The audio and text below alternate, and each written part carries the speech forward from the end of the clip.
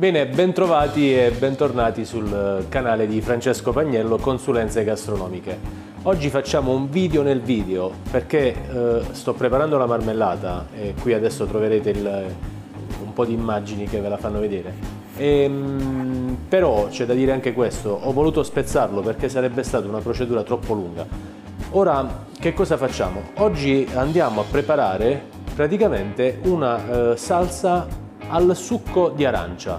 Qui vedrete dove l'ho estratto, qui in alto adesso, e mm, chiaramente se volete vedere il video della preparazione della marmellata d'arancia amare lo troverete qui, altrimenti continuate a vedere questo video che sarà un video molto intrigante che vi porterà a ottenere un prodotto che vi servirà per decorare i piatti di pasticceria o se poi vi piace, dove c'è gusto e non c'è perdenza, anche di cucina salata. Sigla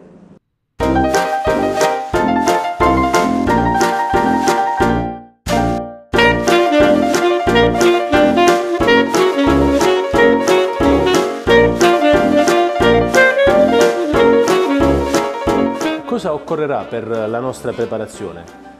Ingredienti molto semplici. Questo è un succo di arancia amare che ho ottenuto mettendo semplicemente a mollo le arance, cioè in infusione arance e zucchero. Eh, per un fatto osmotico si scioglie lo zucchero, tende ad assorbire l'acqua dell'arancia e quindi viene fuori questo, questo succo. Eh, una padella antiaderente buona, una bella lecca pentole, avremo bisogno di 10 g di amido di mais, e poi nulla più, un po' di pazienza. Andiamo ad operare. Quindi verseremo il contenuto di questa caraffa da mezzo litro in questa padella e porteremo la padella sul fuoco. Quando il succo di arancia sarà diventato bello caldo, bollente, inizierà a sobbollire, a quel punto dovremo fare una cosa semplice, dobbiamo mescolare questo, questo amido di mais con un po' di acqua.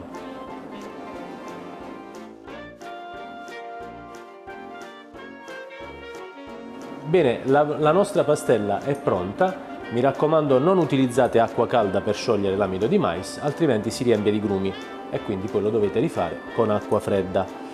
Ora, eh, il nostro succo inizia a sobbollire. La prima cosa da fare sarà quello di schiumare, quindi dotatevi di una schiumarola o con un cucchiaio, dovete rimuovere la parte superficiale del liquido, che, del, della schiuma che verrà a galla.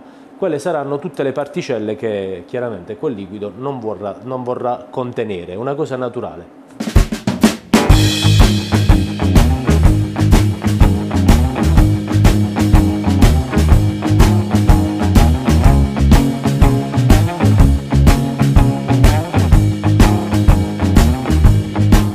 Beh, come potete vedere il succo si è chiarificato, quindi tutte le parti delle impurità del nostro succo d'arancia amaro è venuto a galla. L'abbiamo schiumato, adesso siamo giunti al punto di aggiungere la nostra, la nostra soluzione di acqua e amido di mais.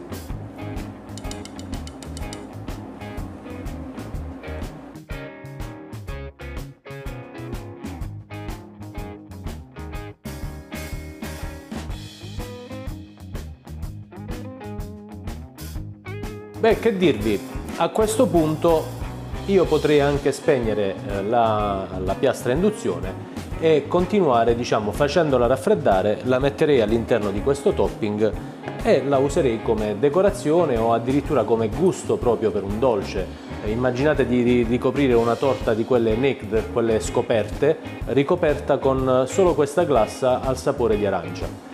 Um, se poi invece a voi piace più colorato, chiaramente eh, dove, ripeto, dove c'è gusto potreste addirittura aggiungere un po' di colorante arancio per mantenere il colore dell'arancia, della, dell però allo stesso tempo avere anche il sapore. Io sono un po' più per le cose naturali, non metterò nessun colorante, quindi lo lascerò eh, piuttosto traslucido, quindi un, un arancione molto molto tenue, molto molto chiaro.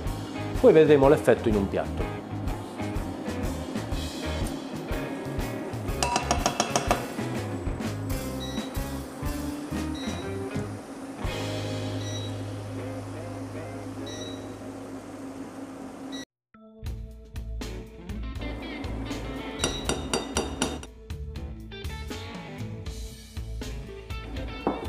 Bene, abbiamo ottenuto la nostra glassa all'arancia amara e adesso la lasceremo un po' raffreddare e la metteremo in un topping di questi, tipo quelli del ketchup, della maionese.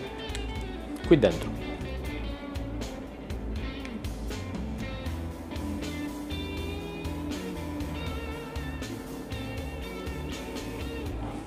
Ora, come tutti i bravi, i bravi cuochi, i bravi colleghi, chef che si rispettino, faremo un piatto eh, dimostrativo, però non, non metterò altri alimenti, quindi utilizzerò esclusivamente la nostra glassa.